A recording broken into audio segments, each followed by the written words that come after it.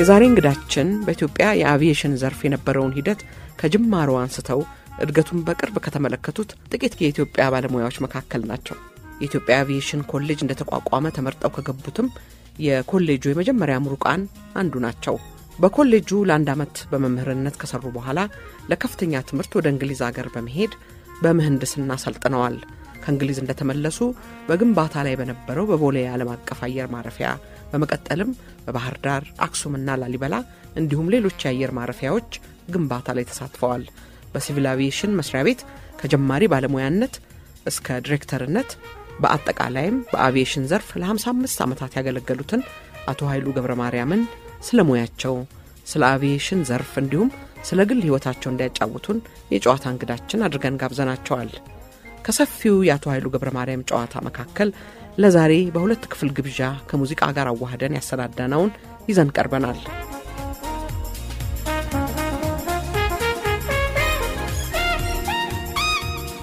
እንደምንሰነበታችሁ የተከበራችሁ አድማጮቻችን፣ ይህ የቅዳሜ ጨዋታ የእንግዳ ዝግጅት ነው። ከእኛ ጋር የረፍት ቀናችሁን በጨዋታ ስለምታሳልፉም እጅግ ደስ ይለናል። ሸገር 102 ነጥብ 1 የእናንተ ሬዲዮ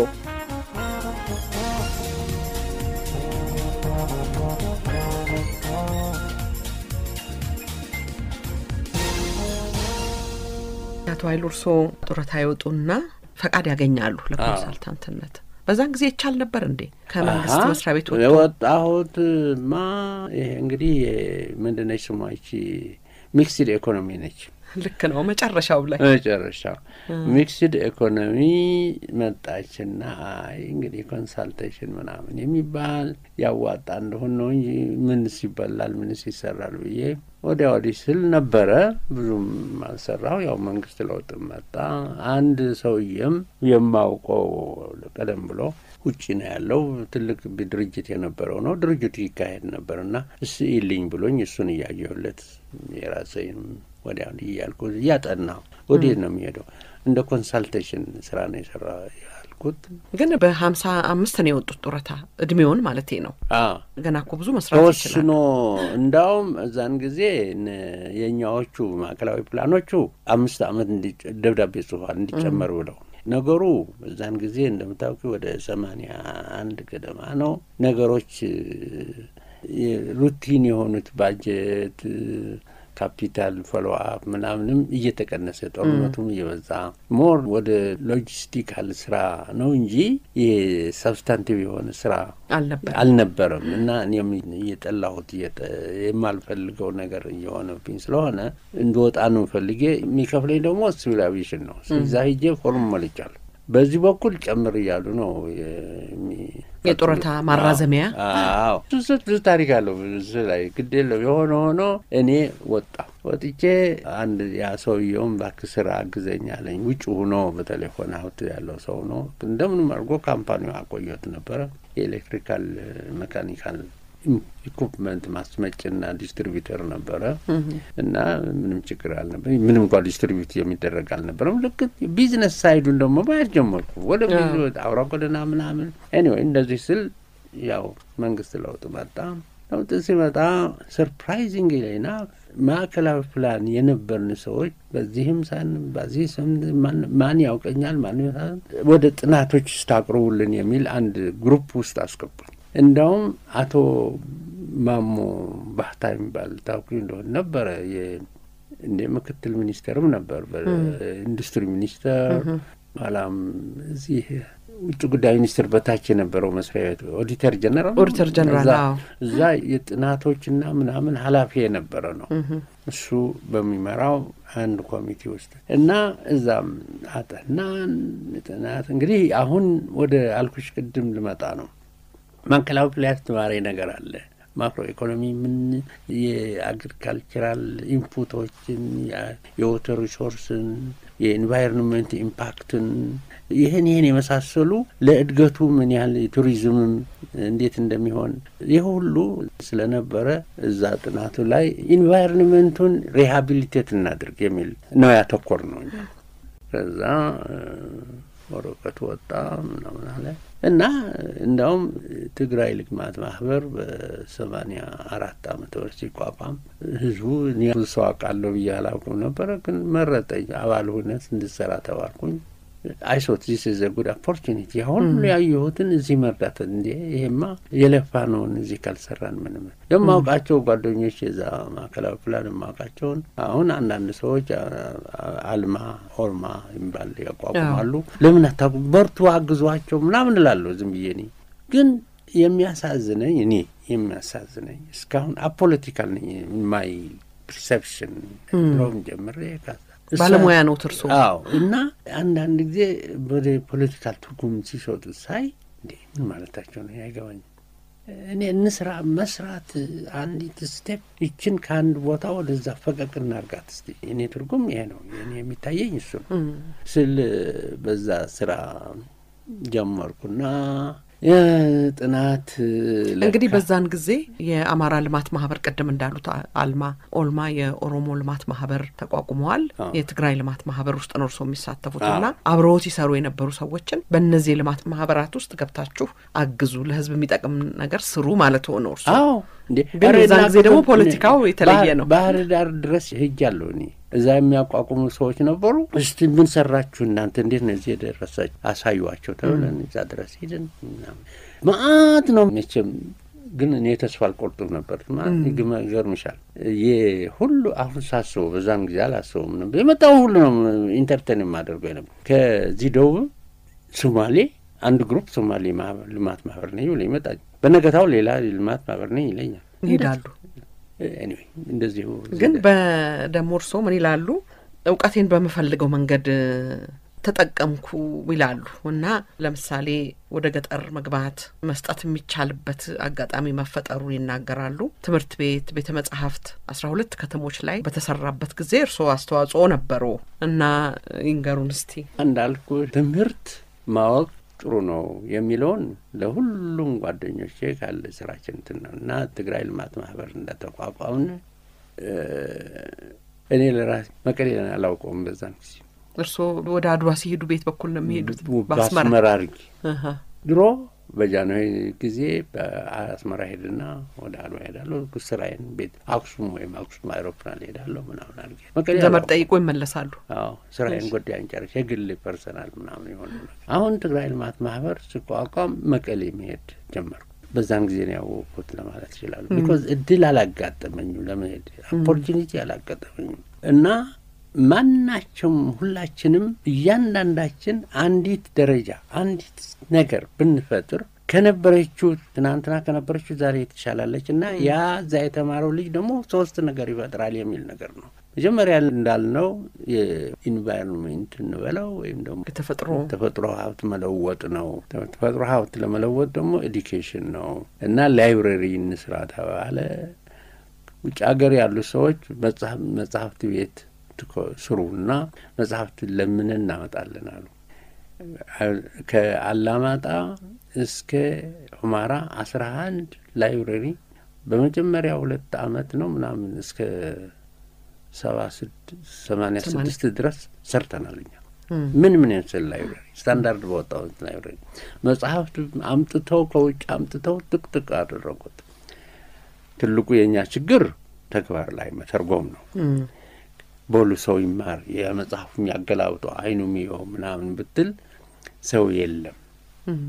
ቆልፎ ሄዷል ያ የተሰጠው ሰውዬ። እኔ ማን ደሞዝ ይከፍለኛል? ማታ ጨልም በንብረት ጠየቅ ነው።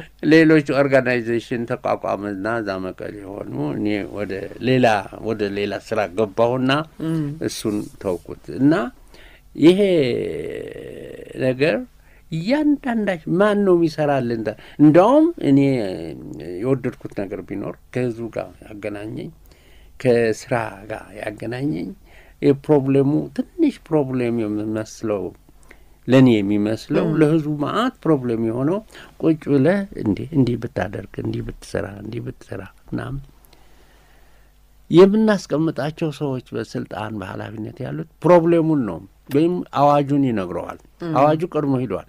አዋጁ ኋላ ነው መምጣት በእኔ ወይም በእኔ ግምት ያ የፈጠርነውን ነገር በስርዓት እንድናስተዳድርበት ነው እንጂ አዋጆች መፈጠር ያለባቸው እንዳንሰራ የሚያግደን የሚያግተን ሆኖ ነው የማገኘው እንቅፋት እንቅፋት አሁን እንዴ አሁን እያንዳንዳችን እኔ እኔ የሚመስለኝ አሁን ባለው እንትን በማየው ነገር እስቲ ይችን ክር በመርፌ ላይ ያስገባልኝ ብሎ አንዱ ሰውዬ ሄጄ መር አይኔ ያሞኛልና መመሪያው መሰረቱ አለቃው ክለ ሙጭ እንደትን እንዴ ስንት ችግር የሚፈታ ነገር አለ። ማን ነው የሚፈታው? መገንዘብ መጀመሪያ መገንዘብ እና እዛ ያሉ ሰዎች መጀመሪያ ነገር መክሶል ማድረግ ያለባቸው ይሄን ምን የመሳሰለ ነገር ነው። ከዛ ይህን ሁሉ ግንዛቤ ወሰዱ። ሄድ ኤግ በዛብኝ። ከሰው ጋር መጋጨትም መጣ፣ ምናምን መጣ። እግዚአብሔር ሲገላግለኝ ይህን ፕሮጀክት ስራ ተብዬ ጥናት ወደ ፕሮጀክቱ። ከዛ በከማቴ በፊት ግን በዛ ኮንሳልቴሽን ጊዜ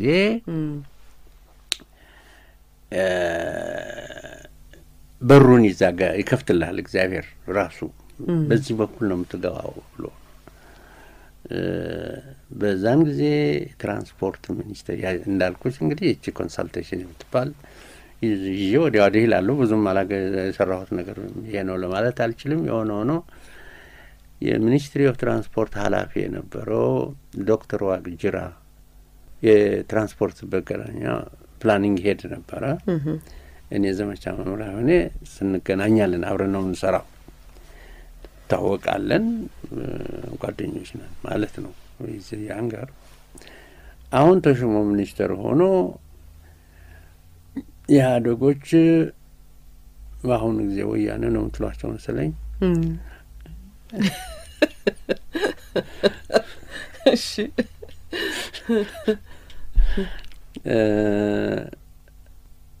Air Transport Policy and Strategy in Ethiopia የሚል ጥናት አጥናና አቅርብ ተብሎ ታዟል። እሺ። ዶክተር ዋቅጅራ he's a minister። ሲቪል አቪዬሽን ይዞ አየር መንገድ ይዞ ምናምን ይዞ ሲያይ ጉድ ፈላ ይልና እኔን ያውቀኝ እንግዲህ ትተዋወቃል colleague ነን። እዛ አብረን ነው ይደውልና እዚህ ስራ መኖሬንም ያውቀዋል ያውቃል። ይደውልና ሀይሉ አቤት ዛሬ ሲቪል አቪዬሽን ሂድና ኮንትራት እንድትፈራራ ምን ነው የሚል ነው እንዲህ እንዲህ ብለህ አጥናልኝ፣ የፈለከውን ሰው ቅጠር፣ የፈለከውን እንትን አድርግ፣ ዛሬ ብቻ ይህን ስራ ይለኛል። Terms of reference already ተሰጥቶታል ሲቪል አቪዬሽን እንዴት ሰራ ሄድኩ፣ ጠየቅኳቸው። ያሉት okay እንዲህ ታዘናል ምናምን አለ። Terms of reference ተዘጋጀ፣ ተሰጠ። ስንት ነው ማስከፍለው? ነግሬሻለሁ። ነግረውኛል ባለፈው። በጣም ጨነቀኝ። አሁን ጓደኞች ደግሞ ሁለት እዛም ማውቃቸው ሲቪል አቪዬሽን ጡረታ ያወጡ እንደኔ ያሉ ሰዎች አሉ። አንዱ የ aircraft operation ኃላፊ ነው። safety manager የነበረ ነው። በቀለ ሰርቬሳ ይባላል። አንድ ደግሞ ኮሎኔል ውብሸት ይባላል። ኢኮኖሚስት ነው። የአየር ኃይል ኮሎኔል ነው። እሱም planning head ም ነበር እዛ። እነሱን ጠራሁና እናንተ ሰዎች አብዮች እንዲህ አይነት ስራ አለ እና ምን አለ ታዲያ እነስራው ምናምን ተባለ። ቁጫንና ምን ምንድን ነው የምንጠይቁ? ያሁኑ idea clue ኡ የለንም። anyway አንድ figure አወጣና ይህን ይህን ያህል በሶስት ወር ነው እንዴ ይህን ያክል ብር እንበላቸዋል። OK ተፈረምንና ለፋን። actually እንግዲህ ይሄ ስድስት ኪሎ የተማርኩት ትምህርት እዚህ ነው የረዳኝ። እነሱ operational report ነው የሚያውቁት። ይሄ cost benefit ኡን፣ traffic forecast ኡን፣ objective mission ኡ ምኑ ምኑ የመሳሰለውን ነገር እዚያው ነው idea እና proper planning parameters የያዘ እናም ማስፈጸሚያ ፕሮግራም ያፊት የጠጠና World Bank tourism is launching ground for aviation development ብሎ ያዘጋጀው አሁን ይህ ሀሳብ valid እንደሆነ አረጋግጬ አስጨብጬ አቀረብንላቸው። ለካ እንደዚህ አይነት ሰዎች አሉ ተብሎ ሰው መኖራቸውን ታወቀ። እነሱን immediately as a matter of emergency ፊት የተጀመሩትን እንዲሰሩ ከ treasury ወጪ ሆኖ እንዲሰራ ሲቪል አቪዬሽን አዘዘ። በዛን ጊዜ ቦሌ የፈረሰውን ጥናት ይጠና ነበርና እዛ ጠገባችን እዛ አንድ office ተሰጥቶን ነው ያጠና ነው እና ፈረንጆቹንም አገኛቸው ነበር እነዚህ consultant ኦቹ ምናምን የሚባሉት እና ያቺ domestic airport አሰራር በእንደዚህ አይነት ነገር ነው launched የሆነው። እንደ አጋጣሚ የታሪክ አጋጣሚ ነው ለማለት ይችላል። አቶ ኃይሉ ይሄኛውም አዲሱም ሲሰራ እንግዲህ እርስዎ እድሉን አገኙ። አዎ እሱን እንግዲህ ያስተዋወቀች እንግዲህ ይሄ ሰው አለ ለካ ተብዬ ማን ያውቀኛል? otherwise እኔ ማንም ያውቅ ሰው የለም። እና እንደ ሰማሁት ኋላ ጠቅላይ ሚኒስትሩ I'm sure እና አንቺም ታውቃለች he reads any document of substance whatever ያነባል ያነባል እና ይችን notes አርገዋታል። ኋላ ነው የሰማሁት። የሆነ ሆኖ የእኔ እንትን የዚህ ፕሮጀክቱ አቀራረብ ቦሌ እንግዲህ ሜዳ parallel ሜዳ ይሰራ ምናምን የሚል ሀሳቦች ቀደም ብሎም በውጥን በሀሳብ ነበሩ። ኋላ እንግዲህ ይሄ መንግስት ለውጥ ሲመጣ ሜዳው ፈርሰዋል፣ ተርሚናሉ ፈርሰዋል፣ air navigation system አርጅቶ ወድቀዋል። ይህን ይዘን ነው ያለ ነው ሲሉ African Development Bank አራት ሚሊዮን ብር earmark አድርጎ የቦሌ master plan airport አሰራላቸዋለሁ ብሎ በአንድ አመት ተኩል አንድ consultant ቀጥሮ ታምስ የሚባል የኒውዮርክ company ተቀጥሮ ደንበኛ ጥናት አድርጎ አቀረበ። ጥናቱ engineering ጥናት ነው፣ management ጥናት ነው፣ financial and economic ጥናት ነው እና implementation program አስቀምጠዋል። ይሄ implement ለማድረግ ስራ ላይ ለማዋል arrangement ኡ ማድረግ አለ። እንዲህ አይነት መፈጸም አለበት። አንደኛ autonomous የሆነ under ሲቪል አቪዬሽን የስራ አስፈጻሚ ኮሚቴ እንዲኖር ቦርድ አይባልም። በዛን ጊዜ የ steering ኮሚቴ ነው consisting of five ministers፣ ሁለት ከጠቅላይ ሚኒስትር እዛ ጽፎታል። ቀጥሎ እነሱ እንደ ቦርድ ሆኖ እንዲያዩት። ቀጥሎ የ project management office ሲቋቋም independent ከ any bureaucracy ሆኖ እኛ የምናጸድቀው CV ያቸው ቀርቦ ባንኮች የሚያጸድቁት እንዲሆን office ኦችን ስንት number of people ሳይቀሩ organize አድርገው ይህ ሲኖር ሲፈጸም ምን ምን መሆን አለበት፣ ይሄ ገንዘብ ፈሶ return እንዲኖረው management ኡ ምን እንደሚሆን መሆን አለበት። airport ኦች እንደ አየር መንገዶች እንደ አየር መንገዶች ተሸካሚዎቹ airport ኦች is business entity ነው። money making organization ነው። እንደ አትራፊ ድርጅት ነው። አትራፊ ነው። ለአገር ይጠቅማል፣ ለአገር ማሳያ ይሆናል። ስለዚህ እሱም independent of ሲቪል አቪዬሽን ይሆናል። እንደ ተባለው ሲቪል አቪዬሽን ሁለት role ነበረው፣ ሶስትም ኖረ ይሆናል። builds airports፣ manages airports፣ air safety ና regulation regulate ያደርጋል፣ air transport manage ያደርጋል ነው። ይሄ strictly የ airport ና air navigation management የ state function ነው፣ የመንግስት ነው፣ በመንግስት regulatory section ነው። የ airport መስራትና ማስተዳደር ግን commercial aspect ነው እና commercial aspect ለብቻው መሆን አለበት። because ያ መንግስት ህዝብ የተበደረው ገንዘብ መመለስ አለበት። ገንዘብ earmark አድርጎ መመለስ አለበት። ይሄ የሚሆነው ከትራፊክ እድገት ከ economic በጣም financial እንደ economic return ጥናት ተደርጎ ያዋጣል ተብሎ ሂውጅ የሆነ volume ጽፎ ነው የሄዱት እና ይሄ እንዲሆን ይሄን ማድረግ አለበት። ስለዚህ ፕሮጀክቱም እንዲፈጸም እንዲህ አድርጎ ብሎ ነው የሄደው። አሁን ለመፈጸም መንግስት ቸኩሏል። አሁን ፕሮጀክቱን ማን ማን እያደርግ ተባለ። ያቺ ጥናት ተጠቁማ ታይታ አንድ ቀን ተደወልና ከትራንስፖርት ሚኒስቴር CV ህን ስታቀርብልን ልናቀርበው ነው። ለ World Bank ነው ለ African Development Bank። okay ሰጠኋቸው፣ ተቀብለናል። እንዲያውም ፓርላማ ያጸደቀው loan እንትን ላይ የእኔ ስም አለ እዛ ውስጥ ብድሩ። ምክንያቱም እነዛ ግዴታ አድርገው ስላስገቡት። አስገብተው ጥቅጥቅ አድርጎ ነው እና ገባ። አሁን እሱስ ተደረገ።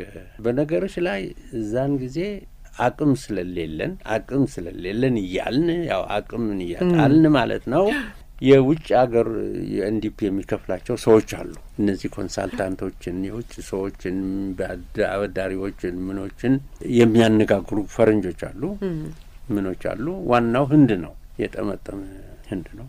ንጉስ ነው። በሹፈር ነው ሄደው emperor ነው የሚቆጠረው።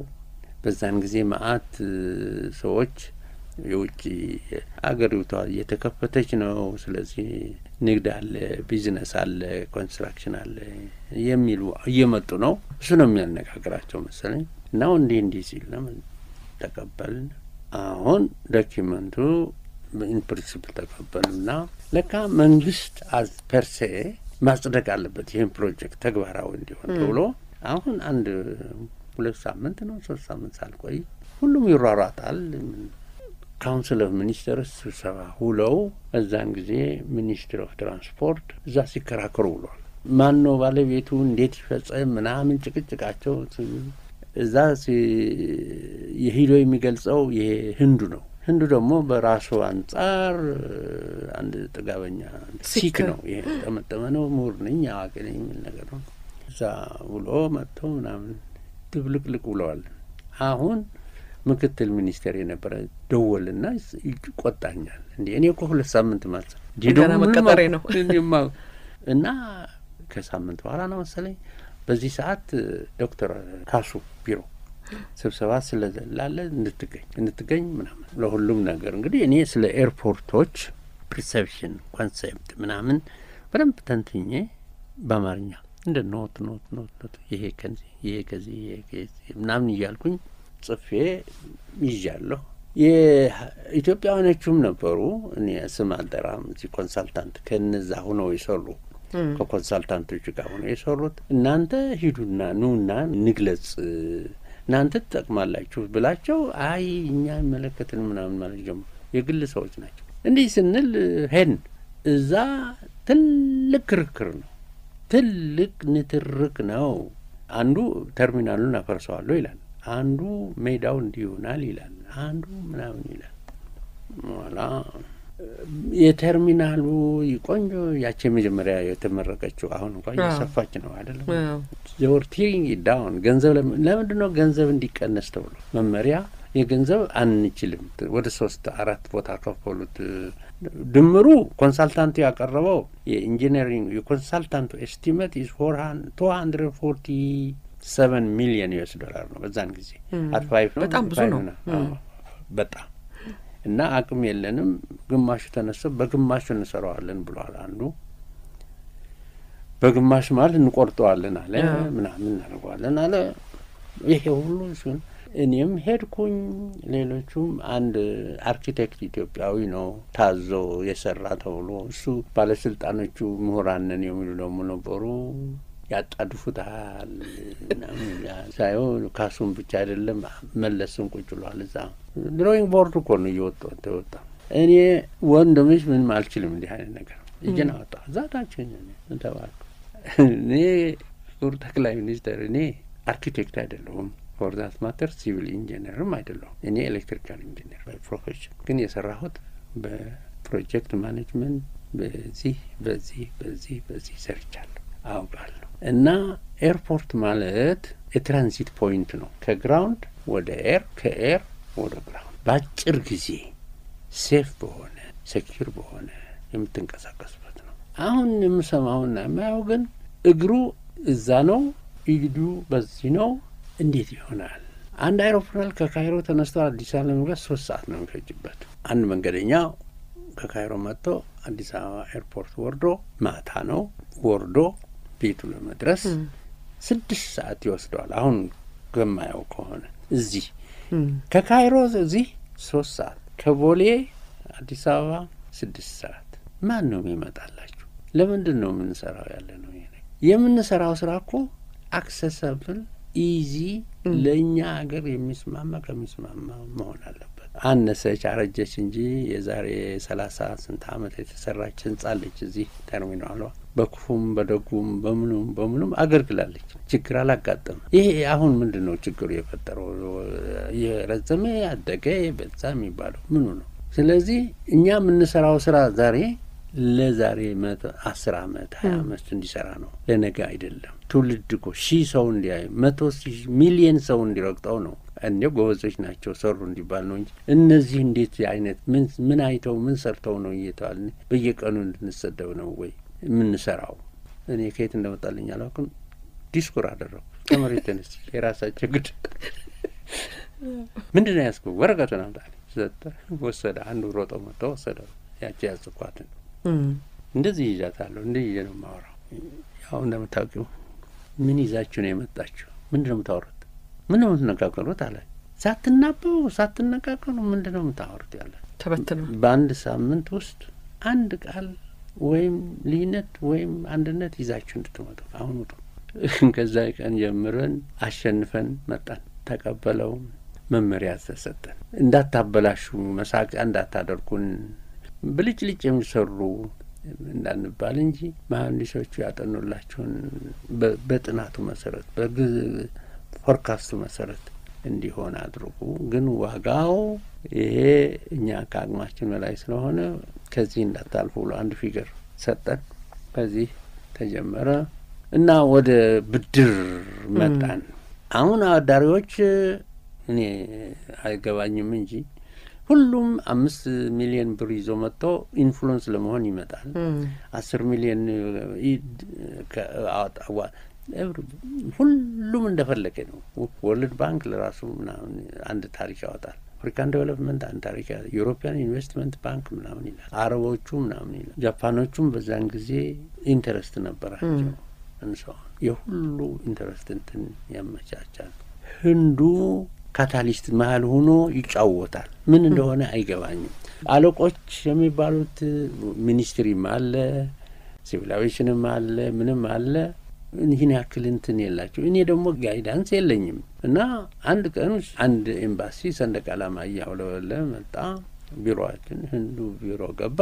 ህንዱ ጠራኝ። አምባሳደር ያን ስም ባልጠራው ይቻላል ተጠራን። ያንዳይጋል እኔ አምስት ሚሊዮን ይዤ ነው የመጣሁት፣ ግን የእኔ company የእኛ factory የሚሰራው እቃ በዚህ ስራ ለእንደዚህ ስራ እንዲሰራ እፈልጋለሁ እና አምስት ሚሊዮን እዛ የእኛም share እንድንከን እንፈልጋለን አለ። ህንዱ ይለፈልፋል ይለፈልፋል። እንዲ yes we'll accept it we'll take it we'll do that we'll this ይላል። ዝም ብዬ ሰማሁ። ኋላ ሰለቸኝና ይሄ የፈጠረው ማለት ነው ዘመቻ መሪያ ነው። እኔ confidence የፈጠረኝ ይዛ ነው ወደዛ ነው የምመጣው። ዞር ዞር thank you very much interest ስላሳየን ኢትዮጵያ ታመሰግናለች። ያቀረብከው ሀሳብ እኛ የምንወስነው አይደለንም። definitely እናቀርበዋለን ለሚመለከተው አካል። እንግዲህ በሁሉም ነገር ታይቶ መልስ እንደውም through proper channel ይነገርሃል ማለት ነው። ስለዚህ አሁን ወደ ራስህ መጥተህ እንዲህ ስትለን በጣም ነው የምናመሰግነው ምናምን አልኩና ሰውየውም ትንሽ ለወጥ አለ። ህንዱ ያ ያ ያ አለ። ለካ እንደዚህ ተነስቶ ሄደ አምባሳደሩ። ህንዱን አንተ አልኩት፣ አቤት ማን ነው ስልጣን የሰጠ ይህን ለመወሰን ለመወሰን? የኢትዮጵያ መንግስት ወክሎሃል፣ ወስኗል። እውነቴን ነው አላውቅም። ስልጣን ሰጥተዋል። እንዲህ ያናደርጋለን፣ እንዲህ እንፈጥራለን የምትለው ለምንድን ነው? no እንደዚህ እኮ ነው ያልኩት። no no no። እንዳውም ከእንግዲህ ወዲህ የምትጻጻፈው ወረቀት ከማንም ጋር ስሩ እኔ አንደኛ ማየት እፈልጋለሁ። because ምንድን ነው የተባልኩት he's my advisor ወይም ደግሞ custody ነኝ የእሱ እስክ ለምደው እስክማውቀው ድረስ ተብሎ contract አለው። ስድስት ወር ቀርቶታል መሰለኝ። እና ዋና ዲሬክተሩ የ civil aviation ይሄ መንግስት እንትን ነው ሳያውቀው ምንም ነገር አልኩት። መመሪያ ሰጥተዋል ሄድኩና ዋና ዲሬክተሩ ደግሞ ደግሞ እንዲህ እንዲህ የማየው ስልጣን ሰጥተዋል። ምን እኔ ታውቃለሁ እንደዚህ በቃ በጽሁፍ እሱ ደግሞ ከኔ የባሰስል እንዳትንቀሳቀስ እንደተስራ አሁን ጦርነት ተጀመረ። አሁን ፕሮጀክቱ እንዴት ይሰራ ተባለ። African Development World Bank መጡና አይ donors ስብሰባ አድርጉና ብዙ ሰዎች donor ኦች የምትሰብሰቡ ምናምን ተባለ። ተሰበሰቡ። ዋና ዋናዎቹ መጡ። ይህን ያክል ነገራል። ፕሮጀክቱ ወደ ሶስት major ስራ ይከፈል። ሜዳው ለብቻው ነው። ተርሚናል ለብቻው ነው። ይሄ electromechanical ለብቻው ነው። ፋይናንሶቹ ለዚህ የሚሰበስቡ ለብቻቸው ናቸው። ሜዳውን የሚሰበስቡት ለዚህ ነው ተብሎ ተለየ። ይከፈል። ሶስት we have to separate the whole document ሀያ አራት ሰዓት እየሰራን እንትን because you have to define the functions ወደ ስራዎች ይሄ ወደዚህ ይሄ ወደዚህ በዋጋ በስራ አይነት ግንኙነት መለያየት ግዴታ ሆነ እና ይህን ከጨረስን በኋላ ሰዎች መቅጠር ጀመርን፣ ምናምን ጀመርን። አቶ ህንዱም እያኮረፈ ሄደ። አሁን ሌላ technical problem አለ። እዛ ብዙም አላስቸግርም። ብዙ የኢትዮጵያ engineering school የእኛ አምስት ኪሎ በጣም የሚያውቁት ጉዳይ ነው። ይሄ የ black cotton soil የቦሌ ችግር ብዙ ሲማሩበት ሲያስተምሩ የቆዩ ስለሆነ ያ implement የሚደረገው design final ብሎ የቀረው totally አይስማሙበትም። ይሄ ያደረገው ደግሞ ህንዱ ነው ዋናው። ይሄ the best ነው ብሎ ያሰበው እሱ ነው። በኋላ የግድ consultant ምሮጥ። consultant ለብቻው ኢትዮጵያ መንግስትና African Development Bank sponsor የሚያደርገው consultant ሜዳውን ብቻ የሚሰራ በ international standard መሰረት tender ወጥቶ ይሰራ ተባለ። tender ተባለ። አንድ የሊባኖን company ዳራህ ለአንድ አሳ የሚባል አሸነፈው መጣ። ይሄ ስራ ተባለና ጥቅጥቅ አድርጎ መጣና ዲዛይኑ ሜዳውን ዲዛይን ለውጠዋለዋል። ህንዱን እንካ በአስቸኳይ በአንድ ሰዓት ስጠኝ opinion ን ብዬ ሰጠሁ። እሱ እንደማይስማማ አውቃለሁ። እነሱ ያሉትን because እሱ በአንድ ደቂቃ መጣና ይህን አልስማማ ማለት ካልተስማማ የመረጥናቸው consultant ኦች እነዚህ የሚፈልጉት እነሱ በዚህ ነው የምንሰራው ይላሉ። አንተ የምታወራው ሌላ። የኢትዮጵያ መሀንዲሶች ደግሞ hundred percent ያንተን ሀሳብ አይቀበሉ። በእኔ አስተሳሰብ ምንም እንኳ የ soil specialist ባልሆንም የእነሱን ነው የምደግፈው። ደግሞ ይቅርታ አድርግልኝና ታዲያ አንተ ስራ ምንድን ነው? ለቀ ሂድ ሂድ ሄድኩና ሪፖርት አደረጉ። ይሄ እዚህ ሊሰራ ስለማይችል አገሩ ሂድ። የሚገርምሽ ከ transport ministry ጀምሮ ትልቅ revolution እንዳደረጉ ባንኮች እንዳይከለክሉን። ምንድን ነው የሚከለክሉን? እኛንን እኮ ሰወሬን እኛንን እኮ ህዝብ ይህ አገር ኮን ትበደረው ያለችው አባረርኩኝ። ተጀመረ ስራ ህንጻው ጃፓኖች ኢንተረስት ነበራቸው። ይሁድ ቢስ ስንት ነገር ዛለ ታሪክ ጃፓን ተርሚናል ዋን ለመስራት ይፈልጉ ነበር። ይመጣሉ፣ ይጠይቃሉ። ጌትዌይ ስለሆነ አፍሪካ ትሬድ ኦዩ ቢኮዝ ፈረንጆች ሎንግ ተርም ነው የሚያዩት።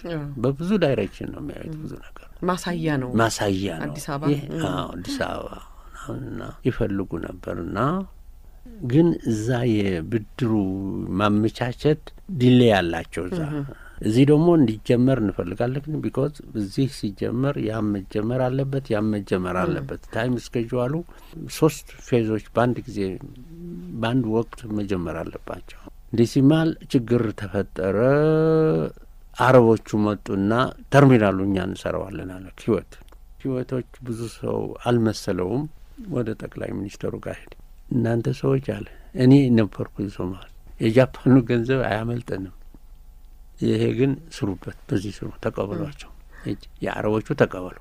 አረቦቹ በዚህ መጡ። ኩዌት ስፖንሰር በሚያደርጋቸው OPEC Fund ይባላል ሰበሰቡና ተርሚናሉ እንደገና ለሱ ደግሞ ሌላ consultant እንዲቀጠር ተደረገ። ለእነሱ air navigation ኡ ደግሞ European Investment Bank ያው ትልቁ European አትችሉም ከሚሉን አንዱ እነሱ ደግሞ የጀርመን consultant ተቀጠረ። so we have three major consultants እነሱ ደግሞ የሚቆጣጠሯቸው ኮንትራክተሮች ሆኑ። በእንደዚህ አይነት ስራ ተሰራ። የጃፓኗን እዛ ልጨርስልሽ ና ኋላ እንደሰማሁት ጃፓኖቹ እንደተዘጋጁ ገንዘብ እኮ ይዘናል ሲሉ ገንዘብ አላችሁ፣ እንግዲህ አባይ ድልድይ ስሩልኝ። that's how it ከ የድልድዩ ከዚህ በጎጃም መስመር መንገዱን ዋናው ድልድዩ ነው የተሰራው። ያቺ ገንዘብ ድልድዋ ነው የተሰራበት ኋላ ደግሞ በሉስት መንገዱስ እየተባለ እየተጨመረ እኛ ደግሞ የጃፓን በዛን ጊዜ grant ነው።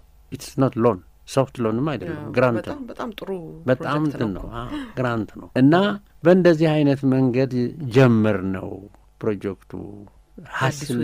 ብዙ ሀስል አለው፣ ብዙ ጣውረድ አለው። ነበረው። አሁን ፈርተ ደግሞ አይቆምም አይሆንም። አሁን ራሱ በጣም ያን ጊዜ እንደዛ ግዙፍ የሚመስለው ነገር አሁን ሲናገሩ ደግሞ ይሄም እየጠበበን ነው ይላሉ አደለ? እና አዲስ ደግሞ እንደዚሁ ወደ ሰበታ ነው የሚባለው። ሌላ ሀሳብ ደግሞ አለ። እንግዲህ እንደምታውቂው ኤር ወደ ሌላው picture ለማሳየት ኤርፖርት ምንድን ነው አይሮፕላኖች አሉ፣ መንገደኛ ያመላልሳሉ፣ እቃ ያመላልሳሉ። በአም በቀን በአመት ወይም በወር ይህን ያክል እሱ ነው መስፈርቱ። መለኪያው እሱ ነው። forecast አርጋል trade business transaction ኡ፣ tourism development የሚባል አለ።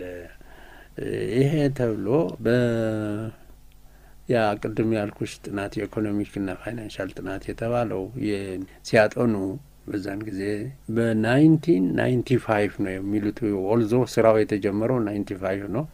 በ ten years ልዩነት ነው ያለው። እኛ የጀመርነው two thousand five ነው ያለቀው። ግን እነሱ እንደዚህ ትራፊኩን ይሄን ይመስላል ይላል እና in twenty years ሜዳው አልቆ ተርሚናሉ አልቆ ሰባ ሰባት ሚሊየን መንገደኛ ሊሸከም ይችላል አለን ያደረገ እና ለዚህ የሚያስፈልገው facility ይሄ ነው። ስፋቱ፣ square meter ኡ፣ ምኑ ምኑ ምኑ የአይሮፕላኑ ክብደት አይነት ምናምን ይሄ ነው እያሉ ነው የሚሉት። በዚህ መለኪያ ነው የተጀመረው። አንዳንድ figure ልነግርሽ እችላለሁ። በ nineteen ninety eight ነው መሰለኝ ninety nine less than million መንገደኛ ነው ቦሌ አንድ ላይ የሚደረገው የነበረው በፈረንጅ አቆጣጠር ነው። በፈረንጅ አቆጣር ነው ይቅርታ።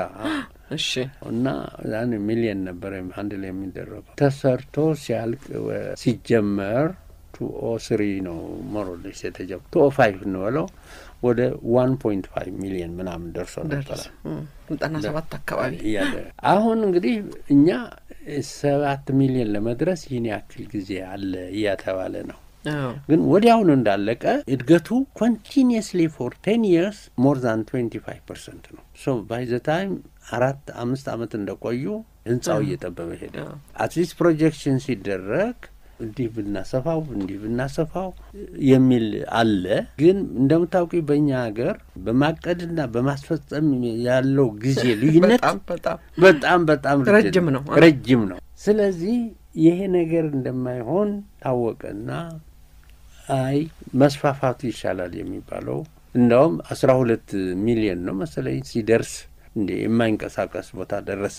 አሁን በዛን ጊዜ እኔ ወጥቻለሁ፣ መጨመር አለብን። እንግዲህ capacity ሲባል አንድ ኤርፖርት የሜዳውን ምን ያህል አይሮፕላን በደቂቃ በሰዓት ያንቀሳቅሳል፣ ማቆሚያ የሚቆሙበት ስንትን ይሆናል፣ ህንፃው የሚገባውና የሚወጣው flow እንዴት ይሆናል፣ እቃው ለመሸከም ምናምን because በ per hour ምን ያህል ነው የሚንቀሳቀሰው የሚለው ነው። ይሄን facility የሚያሟላ system ኦች መሟላት እንዳለበት ነው። እና ይህን አዩና ቻይናዎቹ ይህን ያደረጋችሁ ይህን ያደረጋችሁ ተብሎ ጭማሪ ተጀመረ። የዛሬ ማስፋፊያ ማስፋፊያ እንደውም ሂጄ ነበር ለአንድ ሁለት አመት አግዘን ብለውኝ እንደገና እና ስናየው በሁለት phase አድርገውት ነበር አፈጻጸሙ።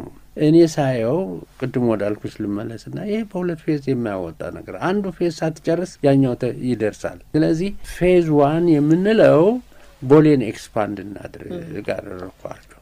assuming ይሄ እንደዚህ የቀጠለ እንደሆነ አራት ሚሊዮን ብለው ድረስ ነው የሚይዘው ሜዳውን ያለውን capacity ብንጨርሰው ከዚያ በላይ አይሄድም። ስለዚህ ይሄ ደግሞ ፕሮጀክት ስናደርገው አስራ አምስት አመት ነው የሚወስደው።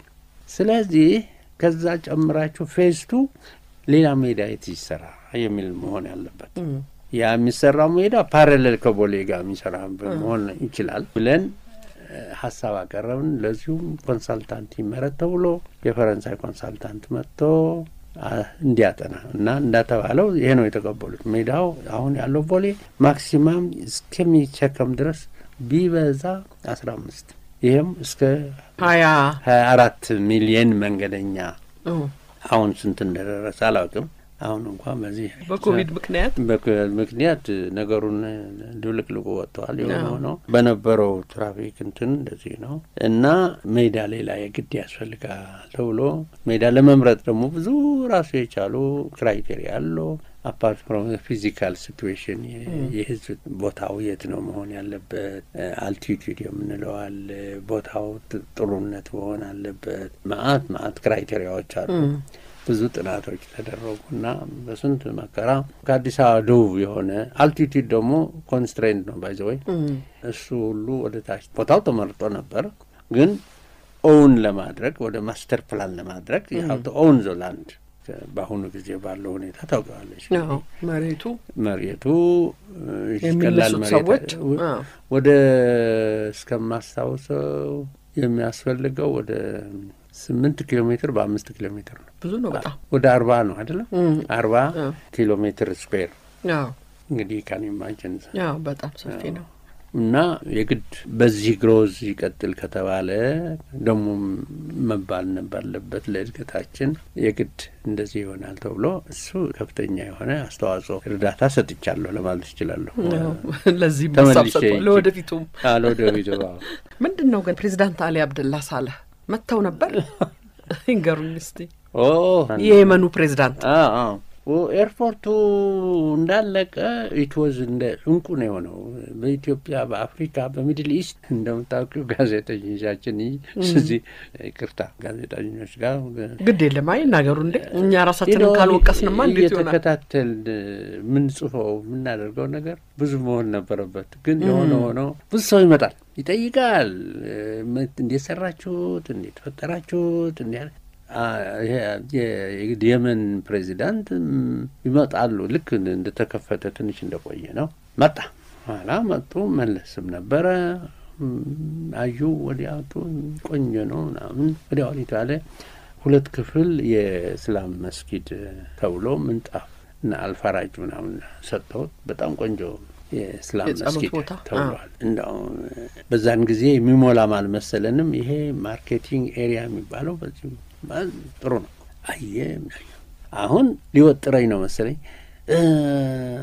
ይህን ሰራችሁ ለሙስሊሞቹ፣ ክርስቲያኖቹ የት ነው የሚሰግዱት አለኝ። አሁን ይሄን መልስ እንዴት ነው የሚመለሰው እያልኩ እኔ ሳቅማማ እግዚአብሔር ይስጠው ጠቅላይ ሚኒስትሩ Christians don't worship in the street they go to church ብሎ መለሱ መለሰለት። እግዚአብሔር ስጥ ብዬ እኔም ተከራከልኩኝ። በሳምንቱ ደብዳቤ መጣ። አቶ ኃይሉ መጥተህ ሳና ልክ እንደዛች አይሮፕላን ማረፊያ ተሰራ ተርሚናል እንድትሰራ። አዎ ታዝዣለሁ እኮ እውነት። በማን በኩል እሳቸው ጠቅላይ ሚኒስትሩ ወይንስ ፕሬዚዳንት አሊ አብደላ አሊ አብደላ አሊ አብደላ እንድትመጣና እንድትሰራ ተብዬ ተብሎ ጠይቀዋል ተባልኩኝ። ያው ከሚኒስትሪውም ደወልና እንደዚህ ሲል የላቸው ምናምን ተባልኩ። ሄዱ። እሱ ታሪክ ያጫውትሻል። እሺ እኔ ነገሩ እንደማይሆነ ገብቶኛል። በኋላ አይ እኔ አልሄድም ኧረ ቲኬት ልከናል ምናምን ብሎ አንድ ቲኬት ይዞ መጣ። የመን airline አየሁ ቲኬቱ። እኔ እኮ tourist class አልሄድም first class ነው የሚሄዱ አልኳቸው። ሄዱና first class ቲኬት ደግሞ ተገዝቶ መጣ። እባክህ ሂድና ቪዛ አስመታ የመን ተባልኩ። ሄድኩም ፓስፖርቴን ሰጥቼ መጣ። ቢሮ ስደርስ ቴሌፎን ተደወለልኝ። ኧረ እባክህ እስራኤል ሀገር ሂደህ ነበር? እስራኤል አልሄድኩም። የት ነው የሄድከው? ፓለስታይን ኢየሩሳሌም ፓለስታይን ይላል። ምን እዛ ሄደ ሰው መግባት አይችልም ማለት ነው? አዎ ለካ አትገባም ተብዬ አትገባም እና እባክህ ለውጥልን ፓስፖርቱ። አይ እኔ አልለውጥም እባክህ እኛህና ለውጠው እና እየተባለ ነው ወይም ለውጥልህ። እኔ አልለውጥም ፓስፖርት ለምንድን ነው የምለውጠው? እንደ አጋጣሚ ሆኖ ደግሞ ልንገርሽ ሰሞኑን ጋዜጣ ነው ቴሌቪዥን እንዳየሁት በዛን ጊዜ ውጭ ጉዳይ ሚኒስትር አቶ ስዩም ነበረ። በዛን ጊዜ እስራኤል ቆይቶ የመን ይታያል። ትናንትና አቶ ስዩም የመን አላየኋቸውን በቴሌቪዥን አልኳት። እዛ ኤምባሲ አዎ እዛ ናቸው ያሉት። ታዲያ ያለፈው ሳምንት ደግሞ እስራኤል አልነበሩም እንዴ? ያውም እኔ የነበርኩት ኢየሩሳሌም ነው። እስራኤል አይ እባክህ እባክህ ተባለ። እኔ አልሄድም ብዬ ቀረሁ። ቲኬት መለስኩት። ሌላ ቀርቶ ሀርጌሻ ሀርጌሻ ደግሞ በሀያ አራት ሰዓት ወጥተህ ኤርፖርት እንድትሰራልን አሉ። አንድ surveyor ሰድጄ ምናምን አደረግኩላቸውና አለቀ። እንዴ ኬንያ ሁሉ አማክሬያቸዋለሁ። ሱዳንም ጠይቀውኛል። seriously ያሰብኳት ነገር ቢኖር ግርማ ዋቄም አለባት እዛች ላይ አዎ ወደ ኪጋሊ ወደ ኪጋሊ እንዲሄድ እሱም effort አድርጓል። እዛ አልነበረም ሞከሩ፣ እዛ ብዙ ሞከሩ። እኔ ግን እዛ ለመቀመጥ አልችልም አልኳቸው እንጂ ላግዛቸው ፈልጌ ነበር እነሱ እና ይሄ ትልቅ እንትን ነበር። እኔ ለራሴ ደክሞኛል፣ በጣም ነው የደከመኝ በዛን ጊዜ። ስለዚህ ለኢትዮጵያ ብቻ ሳይሆን ለጎረቤት ሀገሮችም አስተዋጽኦ አበርክተዋል። ወይ ላይ ትራች ሞክር ያለው ነው